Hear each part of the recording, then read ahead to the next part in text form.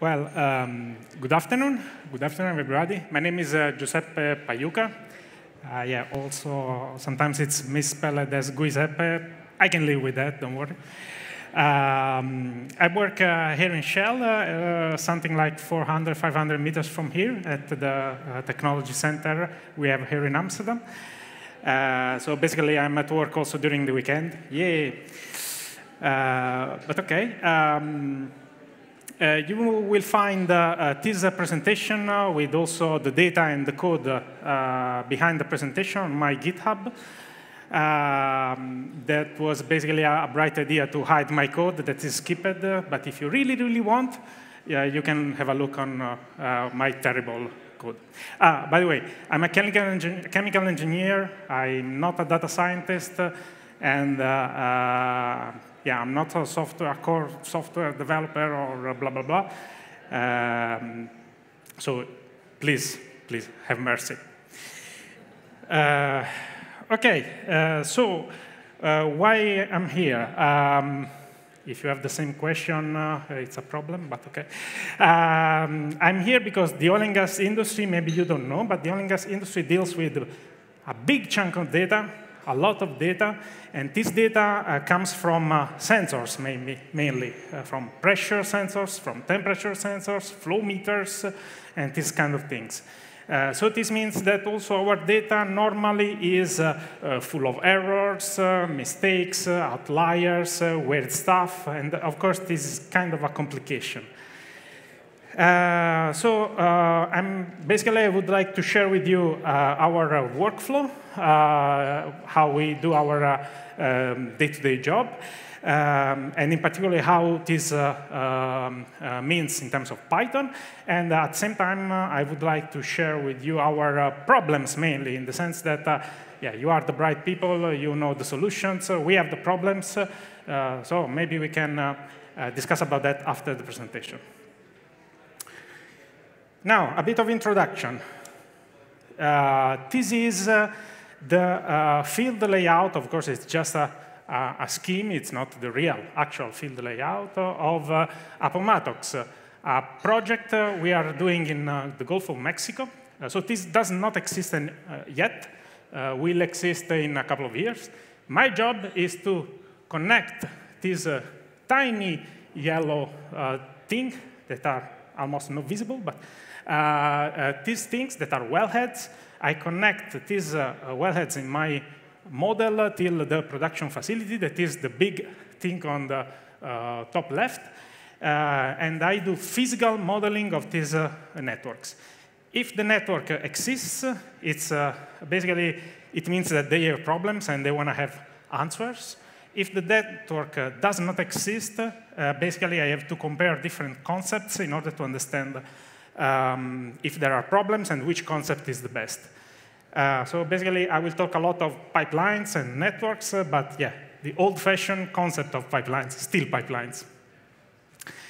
Now, um, uh, just a few words about the boundary conditions of these physical models. Uh, at the outlet of the system, so basically where the big thing lies, wow, incredible. Uh, basically here, uh, I have the, basically the pressure, the receiving pressure of my facilities, while here at the inlet of my model, I have the uh, temperature and the flow. Uh, this is another uh, tiny little beast. Uh, it's called the Prelude. Also, this one does not exist yet. Uh, will be in production next year, probably. Uh, yeah, this will be the biggest floating vessel all around the world, 500 meters. And uh, uh, all these pi small pipings that are almost invisible here will have a pressure, a temperature, a flow meter, and a lot of other kind of meters. So you can only, maybe, imagine the amount of data that this beast will generate per second. Uh, well, only draws so far. This is uh, existing. This is the Gumusut platform in Malaysia. And just to give you a, an order of magnitude, this is a window. So this is a big, a big thing. This is the, the helideck. Here we have the flare. And that's where the production uh, is uh, collected, processed, and exported normally. And inside this platform and in all our production facilities, you have these kind of rooms, the control room, where you have operators. That's the, the, the control room of the same platform. Uh, these operators have to take decisions based on what they see on these screens. Basically, they have a simplified version of uh, uh, the control system of the platform, and they have to um, operate the platform uh, in order to avoid incidents and so on. Uh, one thing that I didn't mention so far is the fact that uh, in our pipelines, we have multi-phase flow. So we have gas and liquids. Liquids because mainly, often we have more than one liquid phase. And yeah, you may have this nice uh, thing happening. So basically, a bulk of liquid, uh, a big wave of liquids that travels to your system. It's called slugging, and uh, it's uh, our nightmare. Uh, basically, uh, this can happen also when your boundary conditions are stable. So even if your inlet conditions and outlet conditions are completely stable, yeah, you may have this thing. And this is quite dangerous because it can damage your production facilities and also your pipelines. Uh, if, you feel, if you think that I'm talking uh, something that is completely, well, if you want, feel free to ask me uh, to, to stop and ask uh, something. Now, I will share with you four examples one is about input and output uh, data check. Uh, the second one is uh, a completely theoretical design case of a sizing exercise. And uh, the, uh, the, third and, one, and, fourth ones are about two fields, one in Iraq and another one in UK. So let's start with the input-output. We live in a world of interfaces. That's where the devil is. Uh, basically, uh, I get a lot of data from other departments and from other companies, and I have to run my models, and I have to share with the others, with the other departments and other uh, companies, uh, the outcomes of this study. So it's very, very important at the beginning of a project, at the beginning of a study, to understand what you receive and to do a check on what you have. And in order to do that, I wrote my own library. Yay! Uh, it's called pyfas. Also, this one is uh, on GitHub. And uh, yeah, if you really have uh, nothing better to do, and there are a lot of other things you can do uh, nicely, we have nice weather, but if you really want, you can have a look also about this library. Uh, that's the kind of data I may receive at the beginning of a project. Uh, basically, here we have the liquid density and the pressure and the temperature. It's a 3D plot, and these are the actual values of the liquid density. Now, my question to you is, is this a good fluid model or a bad fluid model? Yeah, you know the answer. It's, it depends. In the sense that here we have a big step between this area and this other area. But this one happens at very low, well, very recently low temperatures. So this may be something that is realistic, because at low temperatures, you have phase changes in your system. And uh, yeah, maybe it's also not so relevant for us. These steps here are a bit more scaring for me because they happen uh, in uh, a region of pressure and temperature that it's maybe where my pipeline operates. So yeah, this one, it's not a great model, uh, and it's not a great model not for, for this step, but for these steps. So you may, if you receive something like that, you may reconsider to rebuild your fluid model. Yeah, uh, this one is, instead is an example about uh, the outcomes of a, a model. So basically, this is a, a, pressure profile of a pipeline here. And this is the maximum pressure that the pipeline can sustain. Uh, and yeah, basically the answer I got this time was, uh, if I have a problem and uh, here at the outlet of the system, and I keep injecting mass at the inlet of the system, after how many seconds or minutes or hours or days, I'll have problems. So basically, we can run, we can move in time the pressure Yeah. and yeah, after uh, something like 1800 seconds, yeah, we will have a problem at the inlet of the pipeline. It's fancy? Well, uh, in the world I live, this is very fancy. So you should say, oh, great. At least for management works. Uh, yeah, but this, this is very cool. This is completely done in, uh, in, uh, in Python uh, because likely the outcome uh, of my models are uh, plain text files, so it's very easy to parse and to process this information.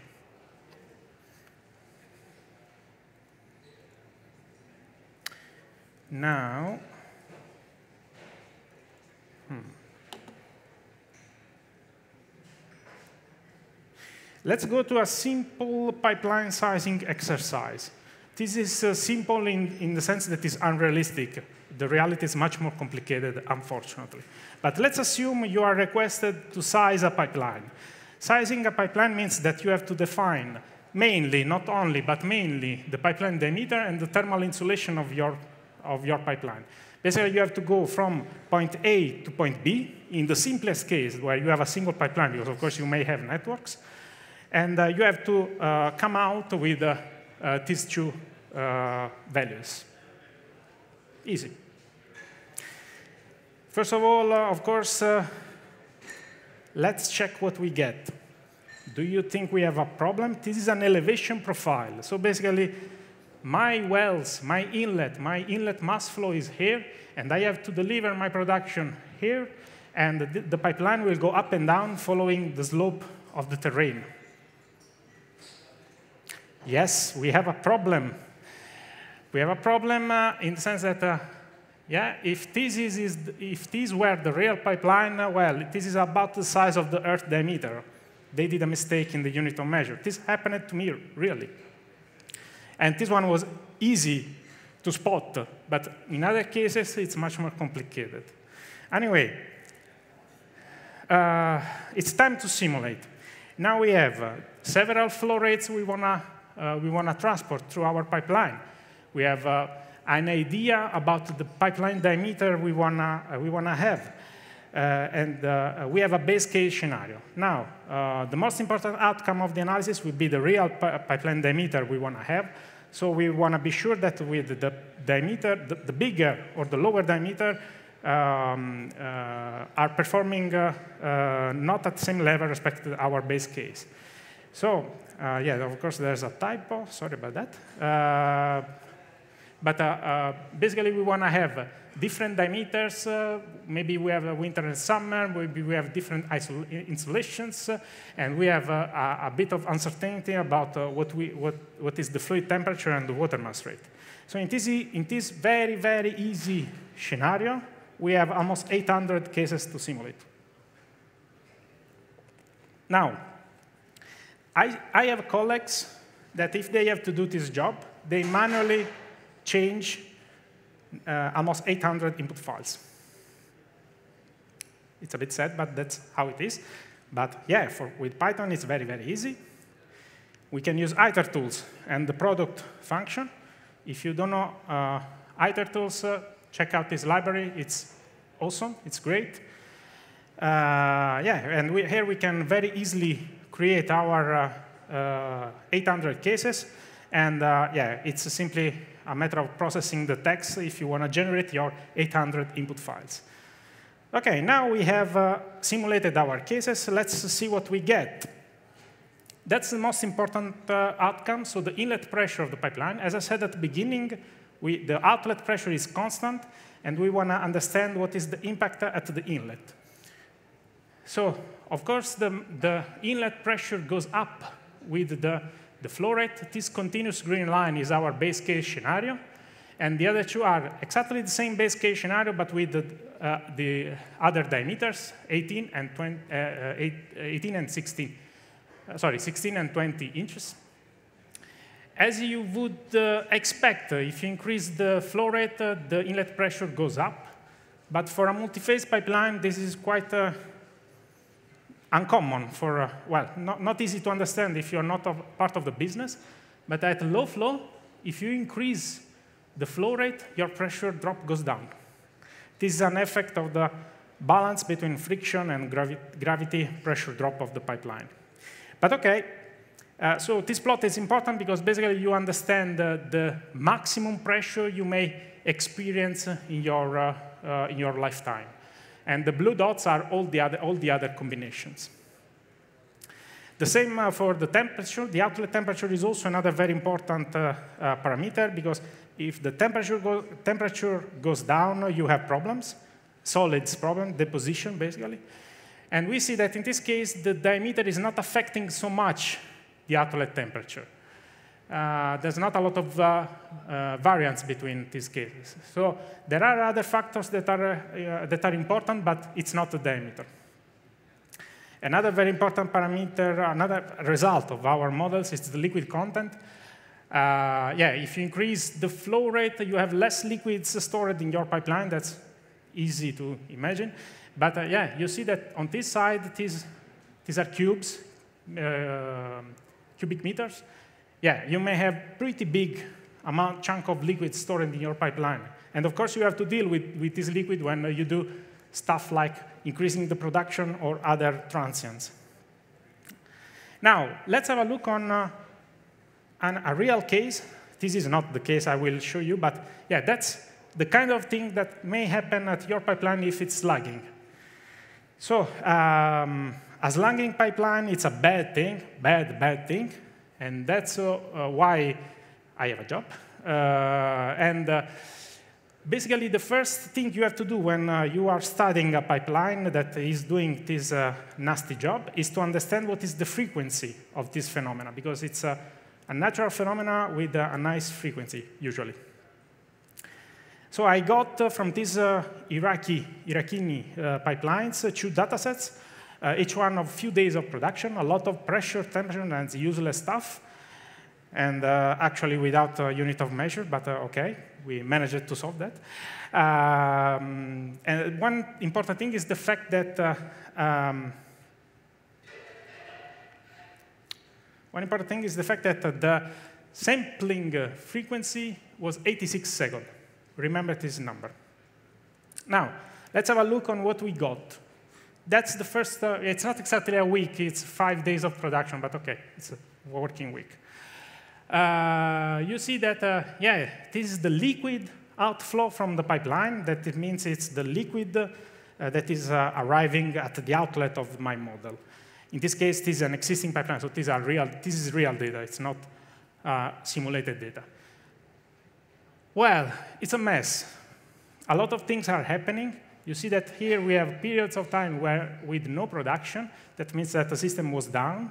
And we have periods of time where the, the, the, production is increasing because probably they are ramping up the production.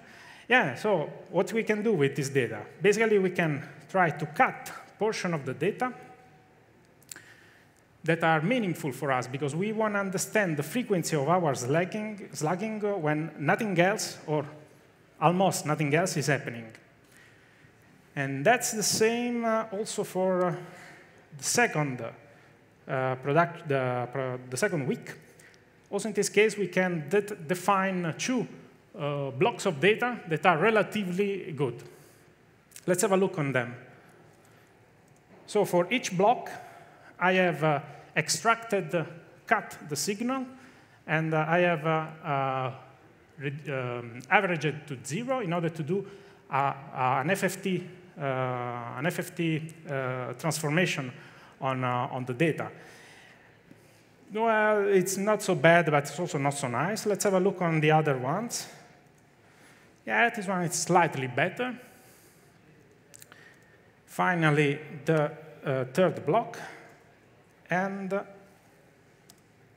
the last one. Now, uh, yeah, this one, it's nice. I like it because uh, there's quite, there's probably something else that is happening.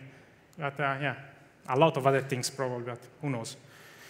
Uh, if I calculate the number uh, of minutes, uh, the time interval between one slug and another one, I got this, using simply the, the, the highest peak, I get these numbers. And this uh, means that basically in, in these four different block periods, production periods, uh, the, the time between one slug and another one uh, ranges from 6.5 to 10 minutes. This is a great result because considering the amount of things that, uh, that are really happening in the field, yeah, this variation is not so big. One question for you. Do you think that the sampling frequency, frequency was enough or not? Yeah, that's the answer I was waiting for. Yeah, the, the frequency was, uh, was good enough because it, it was 86 seconds. Uh, basically, we have four or five points uh, per slug. So it's enough to capture uh, a phenomena in the order of magnitude of a few minutes. Last example is about a gas condensate network uh, in, uh, here in the North Sea, UK. basically, there are a lot of platforms production platforms where there are uh, some wells, in total, in this case, nine production wells. Uh, this production is collected through this big platform here, and after it's transferred to onshore. Now, um, basically, the, if you look here, the size of these pipelines, uh, these are few kilometers. This means this is a problem. It's a problem because it means that in my physical model, I cannot simulate with fancy 3D, CFD stuff, this kind of things. Otherwise, I can stay here till my next job.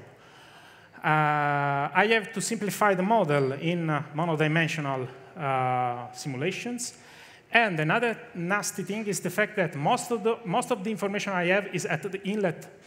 I have pressure and temperatures at the inlet of these platforms, and I have the liquid flow rate here on shore.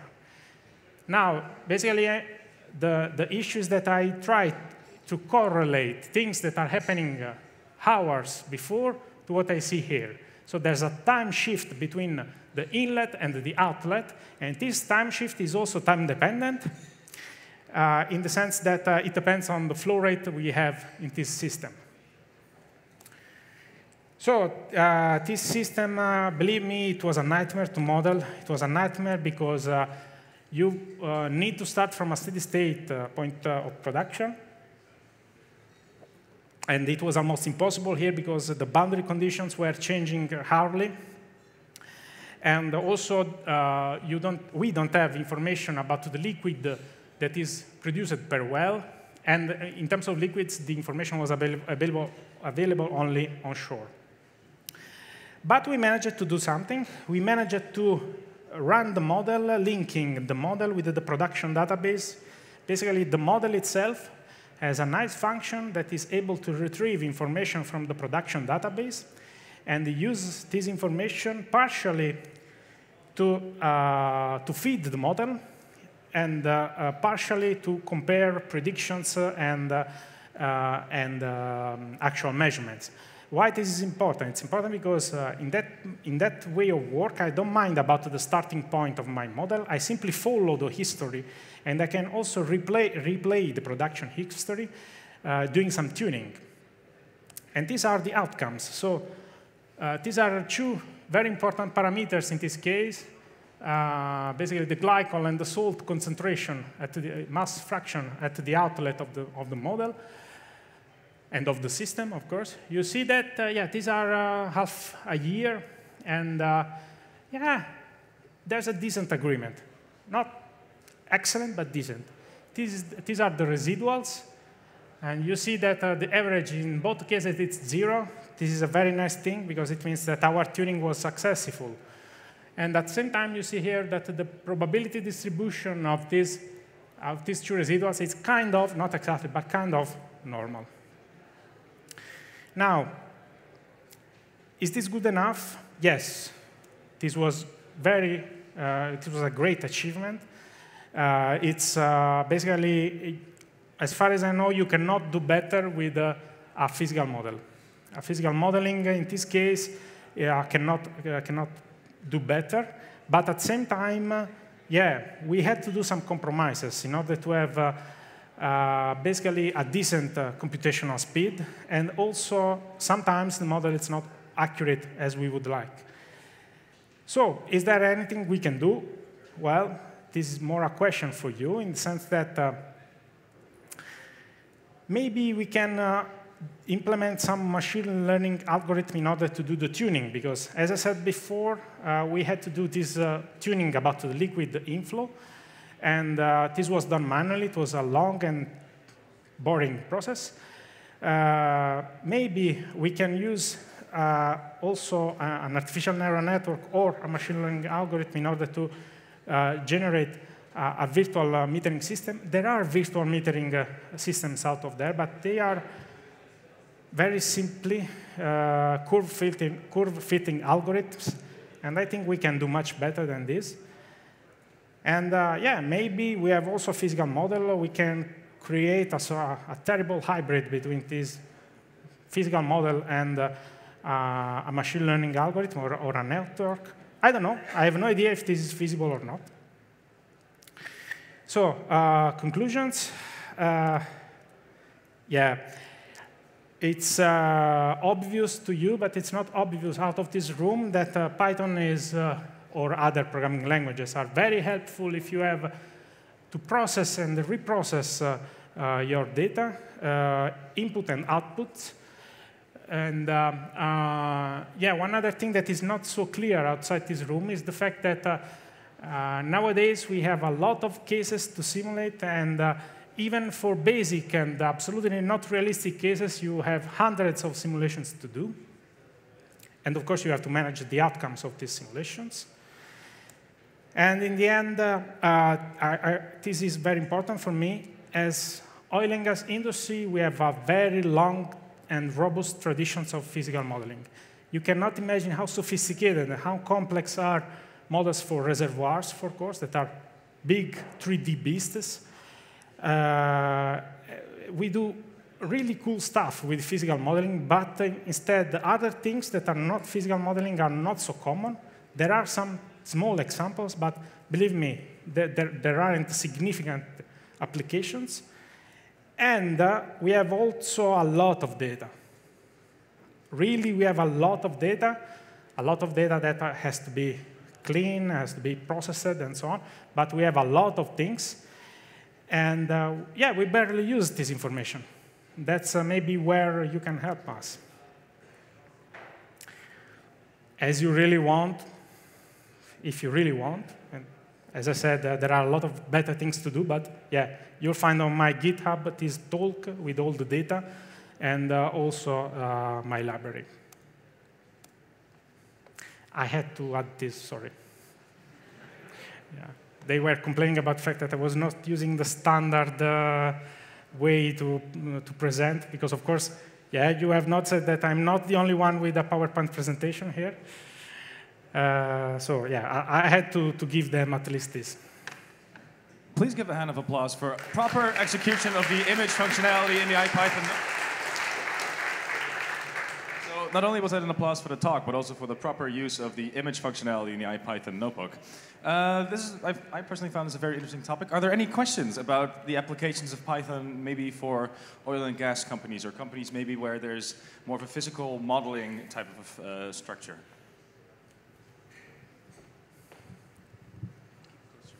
Yeah. Um, yeah, thank you for your talk. I have a question though about um, the application because um, well, I'm wondering, are you using right now modeling and physical modeling and uh, these techniques mainly for design purposes, or is it for maintenance or identifying security risks? Well, in this case, in the last example, uh, uh, this, uh, net, this network is existing. Mm -hmm. So uh, basically, we were asked to predict the liquid outflow here when they do something, some things here. As I said before, uh, there's quite some distance. So if you, for example, increase the production from one of these wells, you will see the outcome in terms of liquid here after a few days. And this was very important because, of course, you need to be prepared in order to process the, the liquids that uh, are coming. So uh, we normally do uh, our modeling for existing and non-existing pipelines. For existing pipelines, normally we have to solve problems. For non-existing pipelines, we have to compare different concepts, uh, how to link different, uh, um, how to uh, compare different networks. Because Yeah, this is existing, but of course, you, if you have only the, the yellow boxes here, you may also have the, the idea how I can connect these boxes in order to deliver my production. Have I answered to your question? Mm. Not really. And not, no, I, I, and one more thing then. Um, when it comes to maintenance and using data, you mentioned yourself um, garbage in, garbage out. Well, a lot of physical or mechanical engineers, they're very skeptical about use of data, at least when I was in the refinery business. It's, it, it's true. Uh, we have a problem with, uh, with data quality, absolutely. Uh, uh I wonder if, if there's someone that doesn't have this problem, but okay. Uh, basically, all the times uh, we have a repository rel relative to a single specific project, and uh, what you have in that repository should be the truth. Is this the case? Not really, not always. Uh, and uh, so basically, the step in which you have to gather your data and to, to check your data, to do a sanity check on your data, it, sometimes it's very, very time consuming. Yeah, we can do much better on that. Yes, I see. Oh, two more questions. Oh, boy. Yeah, thank you for the talk. Uh, my question is about the period of data you selected. How you come up to the decision in practice about those block size? How uh, you get a concise with domain expert or data sciences, that is the data we're gonna analyze. I think it was five days of data, yes? Am I correct? Yeah, in one case five, and in the other case four. Uh, Is it uh, enough to make a conclusion with this short period of that? Because one of your parameters was temperature. And in this case, it was not a problem because uh, Iraq is not very uh, famous for difference between uh, winter and summer. Uh, but yes, definitely. In other cases, when you have big changes in terms of ambient temperature, you, you need uh, to be ready uh, to, uh, to use data from different time periods. In this case, it was good enough, and also the, the, the, idea was a slightly different in the sense that we have a problem, we have a problem now, tell us what is happening. So you, we were interested in uh, the few weeks before the now, not in the whole full history of the pipeline. But yeah, normally you should evaluate both. Then we've got another question over here. Thank you for the talk. And I'd like to ask, how big is actually data science in oil or chemical industry?